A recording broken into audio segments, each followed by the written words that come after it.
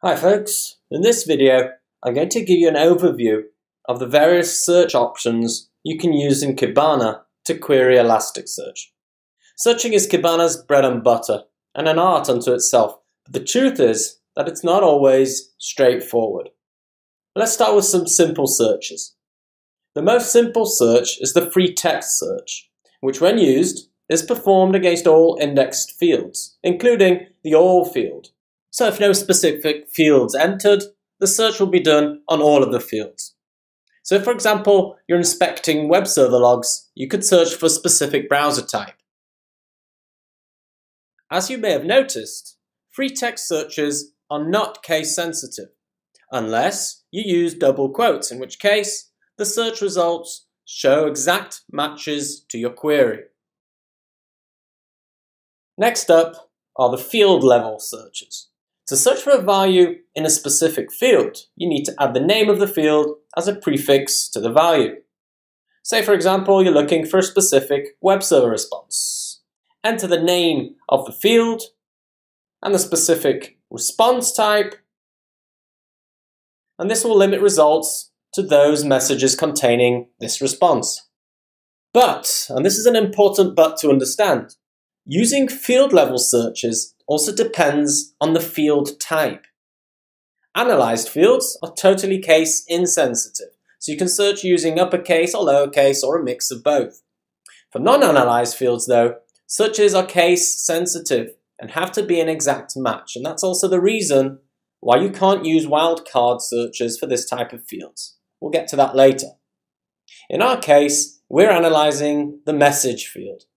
So let's see what happens when we search a non-analyzed field for an incorrect value.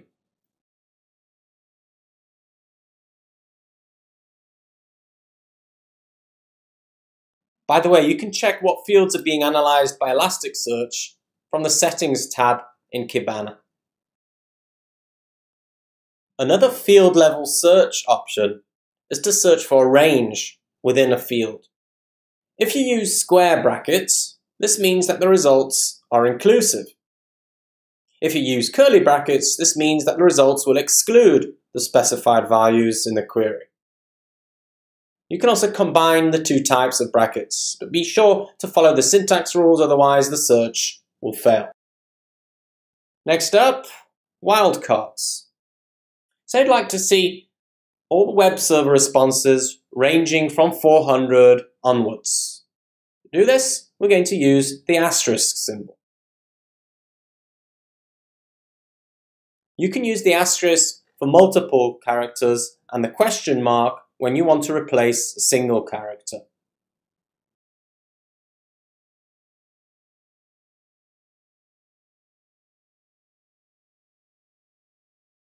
Now remember the difference we talked about between analyzed and non-analyzed fields? When you use wildcards without quotes, the whole search content is converted to lowercase. So if you're looking at a non-analyzed field with an uppercase value, there won't be any match. Now here's just a small tip for you when working with wildcards. If you're working with a large data set, try and avoid using leading wildcards. These will most likely take ages and might even crash your system. Using the exists prefix for a field, we'll search the documents to see if it exists and display results accordingly.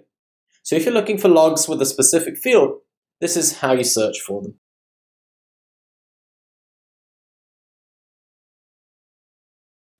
And using missing does the exact same opposite. It's time to take it up a notch. The next type of searches I want to talk about involve using logical statements. These are quite intuitive but require some finesse as they're extremely syntax sensitive.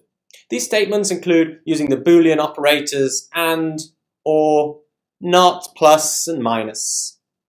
Going back to our Apache response theme, I'm going to search for Apache access logs with only the 400 or 500 response type.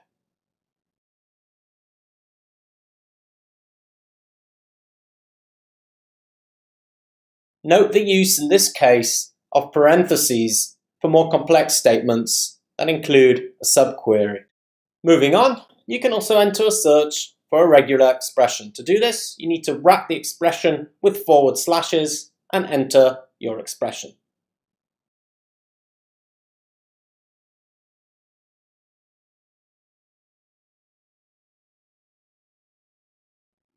The last type of search I'd like to show is the fuzzy search.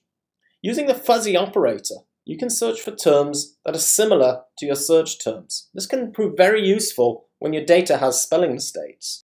What the fuzzy search actually does is gives you terms with a maximum of two changes. Changes can be either insertions, deletions, or substitutions of one character. Okay, that's it for now, guys.